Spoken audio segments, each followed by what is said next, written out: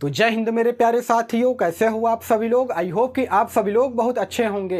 दोस्तों, भारतीय डाक विभाग, यानी कि इंडिया पोस्ट ऑफ़िस जीडीएस की अगर मैं बात करूँगा तो जो जीडीएस शेड्यूल वन 2024 के नाम से नई भर्ती आने वाली है, तकरीबन चालीस हज़ार पद पर, जिसमें कि एबीपीएम बीपीएम और डाक सेवक के पद जो है, वो शामिल रहेंगे। इस वैकेंसी का इंतज़ार लाखों बच्चे ऐसे हैं दोस्तों, जो कि काफ़ी बेसब्री के साथ कर रहे हैं। बार बार सवाल पूछते रहते हैं कि, सर, नई भर्ती कब आएगी? और और देखिए, कुछ सोशल मीडिया इन्फ्लुएंसर ऐसे भी हैं जो कि ये कह रहे हैं कि जीडीएस की नई भर्ती में अब रिटर्न एग्ज़ाम होगा, यानी कि लिखित परीक्षा होगा और आपसे कंप्यूटर का सर्टिफिकेट भी लिया जाएगा। क्या ये बात सत्य है? वो भी मैं आपको आज के इस वीडियो में बताऊँगा, ठीक है ना? दोस्तों, देखिए, मेरे चैनल पे काफ़ी सारे व्यूवर्स ऐसे हैं जो कि जीडीएस के बारे में कुछ भी नहीं जानते, उनको कुछ भी नहीं पता है। इसलिए आज के इस वीडियो में ना, मैं आपको बेसिक से, शुरुआत से पूरी जानकारी दूँगा और सारा ए टू जेड जानकारी मैं आपको आज के इस वीडियो में बताने वाला हूँ ठीक है ना? बशर्ते वीडियो को आप लोग बिल्कुल अंत तक वॉच कीजिएगा और चैनल पे अगर आप सभी लोग पहली बार या फिर नए होना तो प्लीज़ यार चैनल को ज़रूर सब्सक्राइब कीजिएगा इसी प्रकार के गवर्नमेंट जॉब के मोर अपडेट के लिए। देखिए चैनल को ज़रूर सब्सक्राइब कीजिएगा क्योंकि आपका एक लाइक और एक सब्सक्राइब ना अंदर से बहुत ज़्यादा मोटिवेट करता है आगे वीडियो बनाने के लिए। तो दोस्तों, आइए, बिना समय गवाए वीडियो को कंटिन्यू करता हूँ। मैं बात कर रहा हूँ भारतीय डाक विभाग में। ये जो जीडीएस शेड्यूल वन ट्वेंटी के नाम से नई भर्ती आने वाली है तकरीबन चालीस हज़ार पद पर इसके रिगार्डिंग में। दोस्तों अगर पद की अगर मैं बात करूँगा ना तो तीन प्रकार के पद पर यह भर्ती आएगी, जिसमें कि एबीपीएम यानी कि assistant branch post master BPM यानी कि ब्रांच पोस्ट मास्टर और डाक सेवक के पद जो है वो शामिल होंगे। देखिए बीपीएम की अगर मैं बात करूँगा तो तकरीबन दस हज़ार एबीपीएम में बीस हज़ार और डाक सेवक में तकरीबन आठ हज़ार पद पर यह भर्ती निकाली जाएगी। हालाँकि इसका अभी तक कोई भी विभाग की तरफ़ से नोटिफिकेशन जारी नहीं किया गया है और इस वक्त आचार संहिता भी लग चुका है। आप सभी लोग को मालूम है 16 मार्च से आचार संहिता लग चुका है। अब मैं गवर्नमेंट से एक बात पूछना चाहता हूँ। अब काफ़ी सारे लोग मुझे सरकार विरोधी बोलेंगे, मोदी विरोधी बोलेंगे, वो अलग की बात है, लेकिन ये जायज़ बात है। ठीक है ना? जो मैं कहने जा रहा हूँ कि देखिए डी ट्रिपल एस बी में अभी हाल में ही भर्ती आई है, जिसमें कि ड्राइवर के पद शामिल हैं, क्लर्क के पद शामिल है, सफ़ाई कर्मचारी के पद शामिल है। उसके अलावा यूपी मेट्रो में अलग अलग प्रकार के पद पर भर्ती आई है। क्या इन सभी भर्तियों के लिए आचार्य संहिता लागू नहीं है? और जीडीएस की अगर मैं बात करूँगा, भारतीय डाक विभाग की अगर मैं बात करूँगा तो क्या केवल इसी भर्ती के लिए यहाँ पर आचार्य संहिता लागू है क्या? ये बताइए। देखिए, सरकार जीडीएस से ग्रामीण डाक सेवक कर्मचारी से इतना नफरत क्यों करती है? मुझे ये चीज़ समझ में नहीं आ रही है। और दोस्तों, अभी बारह, चौबीस, छत्तीस रूल लागू हुआ है ना? ये केवल जीडीएस कर्मचारी को लॉलीपॉप दिया गया है, मैं आपको बता रहा हूँ, क्योंकि लोकसभा चुनाव जो है बिल्कुल सर पे है। देखिए, अगर उनको कुछ देना ही है ना तो जीडीएस में, यानी भारतीय डाक विभाग में नई भर्ती निकालनी चाहिए। और सरकार क्यों नाराज़ है, ये भी मैं आपको बता रहा हूँ, क्योंकि पिछले महीने ये जो इतना बड़ा स्ट्राइक हुआ था जीडीएस स्ट्राइक इसको लेकर के जो गवर्नमेंट है, वो नाखुश है। मैं आपको अंदर की बात बता रहा हूँ, यही हकीकत है। और इसीलिए भर्ती नहीं आई है, नहीं तो ये भर्ती जो है ना, आपको जनवरी के माह में ही देखने को मिल जाता। इतना ज़्यादा वेट नहीं करना पड़ता। मैं आपको हकीकत बता रहा हूँ। आगे भी मैं आपको बताऊँगा कि क्या पूरा प्रोसीजर रहने वाला है, ठीक है ना? देखिए एज की अगर मैं बात करूँगा तो 18 साल से लेकर के 40 साल तक के कैंडिडेट जो है, इस वैकेंसी में अप्लाई कर सकते हैं। मिनिमम 18 साल होना चाहिए और मैक्सिमम 40 साल के अंदर होना चाहिए। अब काफ़ी सारे बच्चों का ये इशू आता है कि, सर, मेरा डेट ऑफ़ बर्थ इतना है तो क्या मैं अप्लाई कर सकता हूँ कि नहीं? दोस्तों, जब नोटिफिकेशन जारी किया जाएगा ना तो वहाँ पर बताया जाएगा कि जो एज की गणना है, वो कब से किया जाएगा। उस एज की गणना से लेकर के आपके डेट ऑफ़ बर्थ के बीच में वो 18 साल एज होना चाहिए, तभी जाकर के आप अप्लाई कर पाओगे। अगर उसमें दो चार महीने भी अगर कम हो गए ना तो आप अप्लाई नहीं कर सकते इस चीज़ को आप लोग समझिएगा, ठीक है? रिलैक्सेशन की अगर मैं बात करूँगा तो ओबीसी के जो कैंडिडेट है, उनको यहाँ पर तीन साल का छूट दिया जाएगा। यानी कि तैंतालीस साल तक वे फॉर्म को फिल कर सकते हैं और एस सी के कैंडिडेट जो है, वे पैंतालीस साल तक यहाँ पर फॉर्म को भर सकते हैं। तो कुल मिला कहने वाली बात यह है कि पर्याप्त मात्रा में इसमें आपको एज दिया जाता है, किसी प्रकार की कोई भी दिक्कत नहीं होती है। और क्वालिफिकेशन भी बहुत ज़्यादा नहीं मांगा जाता है। अगर आपने दसवीं की परीक्षा पास कर रखी हो ऑल इंडिया के मेल और फीमेल कैंडिडेट जो है, इस भर्ती में अप्लाई कर सकते हैं। यानी कि आप पूरे भारत देश में से किसी भी राज्य से आते हो ना तो आप अप्लाई कर सकते हो। बशर्ते आपने दसवीं की परीक्षा जो है, पास कर रखी हो। और इसमें किसी प्रकार का रिटर्न एग्ज़ाम भी नहीं होता है। मेरिट बेस्ड सिलेक्शन होता है। ठीक है ना? वो मैं अभी आपको चयन प्रक्रिया में आगे बताऊँगा। ठीक है? देखिए बेसिक रिक्वायरमेंट रिक्वायरमेंट की अगर मैं बात करूँगा तो यहाँ पर कुछ बेसिक रिक्वायरमेंट है जो कि आपको फुलफिल करना पड़ेगा, तभी जाकर के आप इसमें अप्लाई कर सकते हो। जैसे कि जहाँ से भी, जिस भी डिवीज़न या सर्कल से आप फॉर्म को फिल कर रहे हो, वहाँ का लोकल लैंग्वेज आपको आना चाहिए। जैसे अगर आप गुजरात से अप्लाई कर रहे हो तो आपको गुजराती आनी चाहिए। महाराष्ट्र से अप्लाई कर रहे हो तो आपको मराठी आनी चाहिए। उसी प्रकार से अगर आप उत्तर प्रदेश से अप्लाई कर रहे हो तो आपको हिंदी आनी चाहिए, है ना? तो यहाँ पर जो है डिवीज़न या फिर सर्कल वाइज जो है लोकल लैंग्वेज की जानकारी आपको पास होनी चाहिए। उसके अलावा साइकिलिंग, यानी कि साइकिल चलाने का ज्ञान होना चाहिए, क्योंकि जो बीपीएम होते हैं, डाक सेवक होते हैं, उनका पता है काम क्या होता है। उनका काम जो होता है, वो घर घर जा करके चिट्ठी को बांटने का काम रहता है। ठीक है ना? चिट्ठी वितरित करने का काम रहता है। इस वजह से यहाँ पर साइकिलिंग का जो है रिक्वायरमेंट मांगा जाता है। उसके अलावा कंप्यूटर का बेसिक नॉलेज होना चाहिए। अब ये कंप्यूटर का जो बेसिक नॉलेज है, ये कहाँ पर यूज़ होता है? तो ये यूज़ होता है बी बीपीएम यानी कि ब्रांच पोस्ट मास्टर के पद पर कंप्यूटर का नॉलेज होना अनिवार्य है, तब जाकर के आप बीपीएम के पद पे कार्यरत हो सकते हैं। अब काफ़ी सारे सोशल मीडिया इन्फ्लुएंसर ऐसे भी हैं जो कि ये कह रहे हैं कि अगली बार से कंप्यूटर का सर्टिफिकेट भी लगेगा। दोस्तों, मैं आपको अभी से बता दे रहा हूँ कि देखिए, अभी तक जितनी बार भी भर्तियाँ आई है ना, उसमें एक बार भी कंप्यूटर सर्टिफिकेट का ज़िक्र नहीं किया गया है। लेकिन हो सकता है कि आने वाली भर्ती में जब इसका नया नोटिफिकेशन आएगा तो उसमें कंप्यूटर का सर्टिफिकेट मांगा जाए। ठीक है है ना इसलिए अभी आपके पास यहाँ पर समय है, लगभग दो से तीन महीने का समय है तो अभी से आपको क्या करना है कि जितने भी डॉक्यूमेंट्स है ना, आपको तैयार करवा लेने हैं। काफ़ी सारे व्यूवर्स मेरे ऐसे हैं जो कि यही नहीं जानते हैं कि सर क्या क्या डॉक्यूमेंट्स लगेंगे। दोस्तों, मैं आपको यहाँ पर बता दे रहा हूँ, दसवीं का मार्कशीट आपके पास होना चाहिए, सर्टिफिकेट होना चाहिए।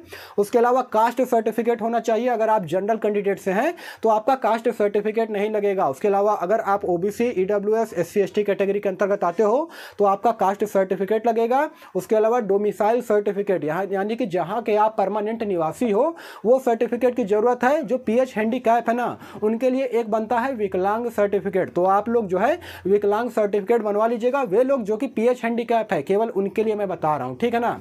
उसके अलावा दोस्तों, आपके पास डेट ऑफ़ बर्थ सर्टिफिकेट होना चाहिए कैरेक्टर सर्टिफिकेट होना चाहिए, आधार कार्ड, पैन कार्ड वगैरह होने चाहिए, बस इतने सारे डॉक्यूमेंट्स होने चाहिए। उसके अलावा कुछ भी नहीं लगता है, ठीक है ना? लेकिन एक चीज़ मेरी बात मानिएगा कि आधार कार्ड और जो दसवीं का मार्कशीट है ना, उसमें आपका नाम, पता फादर नेम उसके अलावा जो भी चीज़ें होती हैं डेट ऑफ़ बर्थ वगैरह, सब कुछ राइट होना चाहिए, किसी प्रकार का मिसमैच नहीं होना चाहिए। अदरवाइज़ होगा क्या कि डॉक्यूमेंट वेरिफिकेशन में हो सकता है कि आपको रिजेक्ट कर दिया जाए, ठीक है ना? तो इस चीज़ को आप लोग ज़रूर मैच कर लीजिएगा।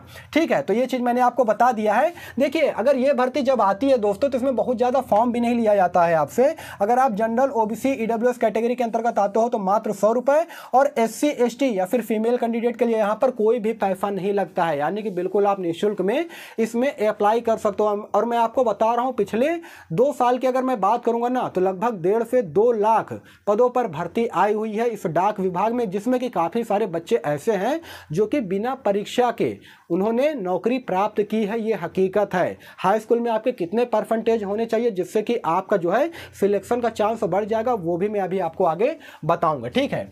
अब सबसे पहले मैं आपको बता देना चाहता हूँ कि आवेदन कब से शुरू होगा। तो दोस्तों देखिए, इसके बारे में कोई आपको सटीक जानकारी जो है अभी नहीं दे सकता और कोई भी अगर आपको ये बोल रहा है कि इस तारीख से ऑनलाइन आवेदन स्टार्ट हो जाएगा तो ये सरासर बिल्कुल भी फेक है, झूठा है। ये जान के चलिए, क्योंकि जानते हैं, विभाग की तरफ़ से अभी तक कोई भी नोटिफिकेशन जारी नहीं किया गया है कि यह भर्ती जो है कब आएगी। हालाँकि संचार मंत्री अश्वनी वैष्णव जी ने 2023 में यह कहा था कि ये जो वैकेंसी है भारतीय डाक विभाग में, अब एक साल में दो बार निकाली जाएगी। पहली जो वैकेंसी आएगी वो जनवरी महीने में और जो दूसरी वैकेंसी आएगी वो करीब जुलाई महीने में आएगी। लेकिन ऐसा बिल्कुल भी नहीं हुआ क्योंकि दिसंबर महीने में बहुत तगड़े तरीके से धरना प्रदर्शन हुआ था दोस्तों जीडीएस स्ट्राइक हुआ था, जिसकी वजह से सरकार जो है गवर्नमेंट जो है वो पूरी तरीके से नाखुश है, दो लाख सत्तर हज़ार जीडीएस कर्मचारी से।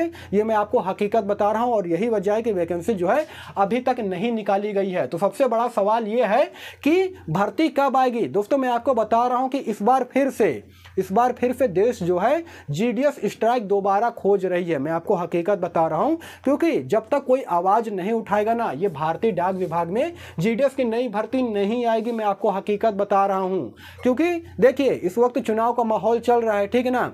जो सरकारें हैं, वो बारह, चौबीस, छत्तीस रूल लागू कर दी है और दो लाख सत्तर हज़ार जीडीएस कर्मचारी को केवल लॉलीपॉप पकड़ा दिया और कुछ भी नहीं है। केवल जो बच्चों का झुंझुना होता है ना, वो पकड़ा दिया है, उसके अलावा कुछ भी नहीं है। मैं कहता हूँ कि अगर आपको जी जी को कुछ देना ही है तो आप नई भर्ती निकालिए ना, जिससे कि जो बेरोजगारी की जो स्थिति बनी है, दोस्तों, मैं आपको एक बात बता रहा हूँ, एक आंकड़ा है।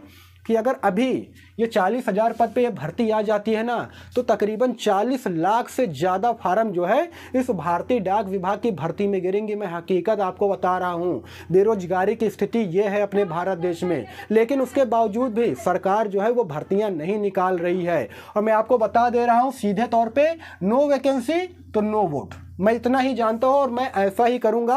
आप कुछ करो, वो आपकी मर्ज़ी है। लेकिन दोस्तों, अगर भारतीय डाक विभाग में भर्ती नहीं आएगी तो मैं नोटा दबा करके चला जाऊँगा। सीधी सी बात है, लेकिन किसी गवर्नमेंट को जो है अपना वोट नहीं दूँगा, ये हकीकत है। क्योंकि जब सरकार जो है मेरे लिए कुछ नहीं कर रही है तो मैं भी जो है कुछ भी उनके लिए नहीं करूँगा। जो बात है हकीकत।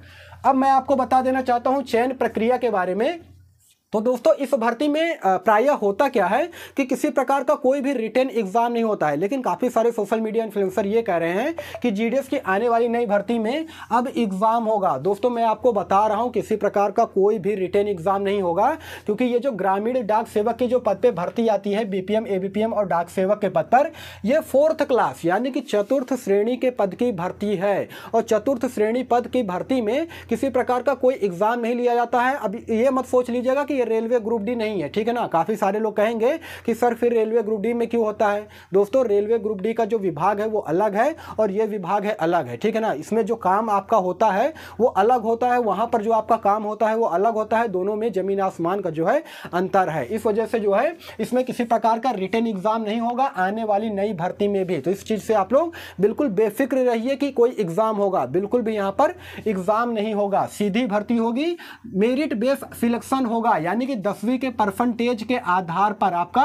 सिलेक्शन होगा। अब काफ़ी सारे बच्चे ये भी जानना चाहेंगे कि सर ये बताइए कि दसवीं में कितने परसेंटेज होने चाहिए जिससे कि मेरा सिलेक्शन हो जाए। तो दोस्तों, मैं आपको बता रहा हूँ, अगर आपके सेवेंटी परसेंट प्लस मार्क्स होना, सेवेंटी परसेंट यानी कि सत्तर परसेंट से ज़्यादा अंक है आपके हाई स्कूल में तो आप लोग ज़रूर से ज़रूर अप्लाई कीजिएगा जब भी ये भर्ती आती है। तो जानते हैं इसमें क्या होता है? क्योंकि कुछ कुछ स्टेट ऐसे होते हैं जहाँ से कट ऑफ़ काफ़ी कम जाता है, बच्चों का सिलेक्शन साठ परसेंट में, पैंसठ परसेंट में, सत्तर परसेंट में भी होता है। जैसे कि असम हो गया, उड़ीसा हो गया, महाराष्ट्र हो गया, है ना? गुजरात हो गया, इन सभी में जो है कट ऑफ़ काफ़ी कम जाता है। और दोस्तों कुछ गिने चुने ऐसे सर्कल भी हैं, वहाँ से भी कट ऑफ़ कम जाता है। जब ये भर्ती आएगी ना, उसके बारे में मैं बेसिक से डिटेल से आपको वीडियो बना करके आपको जानकारी दूँगा, ठीक है ना? उसके बाद दोस्तों शॉर्ट लिस्टेड कैंडिडेट का डॉक्यूमेंट वेरिफिकेशन यानी कि दस्तावेज़ सत्यापन किया जाएगा, और अंत में आपका मेडिकल होता है, उसके बाद ज्वाइनिंग दे दी जाती है, ठीक है ना? तो इसमें किसी प्रकार का रिटर्न एग्ज़ाम नहीं होता है, चयन प्रक्रिया जो है वो बिल्कुल सिंपल है, ठीक है?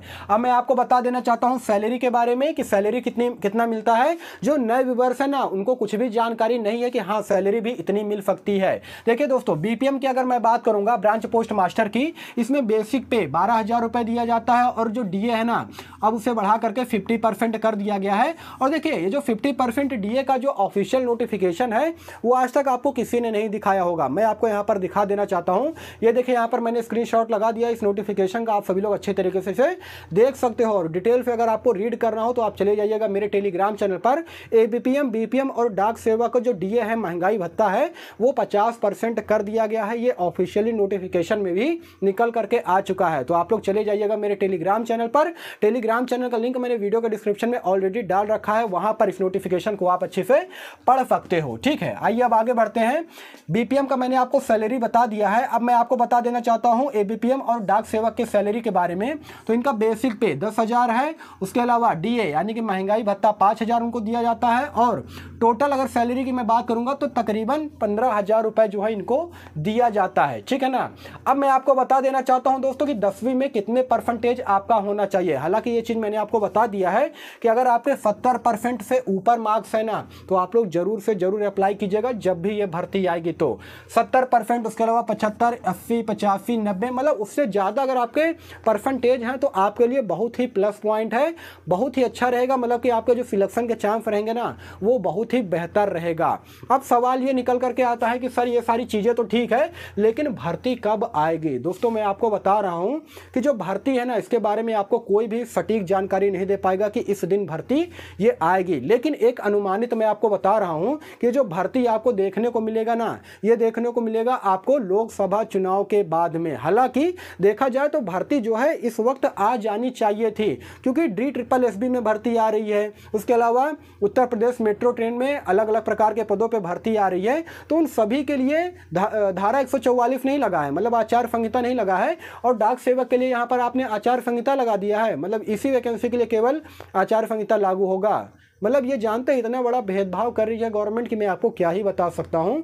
नहीं तो भर्ती जो है अब तक आपको देखने को मिल जाती। तो दोस्तों, यही सारा सब कुछ जानकारी देना था। बाकी वीडियो आपको कैसा लगा? आई होप कि वीडियो आपको इन्फॉर्मेटिव लगा हो। और देखिए, इस भर्ती के रिगार्डिंग में आपका कोई भी सवाल हो, कुछ भी अगर कोई भी मन में डाउट हो ना तो आप लोग कमेंट सेक्शन में कमेंट कर सकते हैं। मैं उसका रिप्लाई देने का भी पूरा पूरा कोशिश करूँगा। बाकी फिर मिलूँगा किसी नेक्स्ट वीडियो में। तब तक के लिए धन्यवाद।